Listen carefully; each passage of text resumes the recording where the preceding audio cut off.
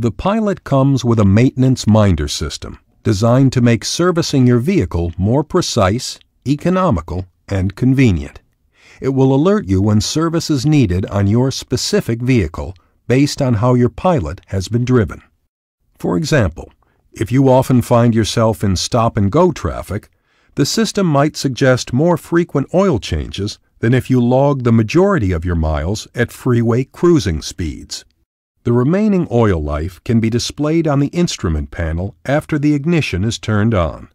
This gives you an idea of how long you have until an oil change is needed. When it's time for just an oil change, you'll see a wrench icon and the letter A on the display.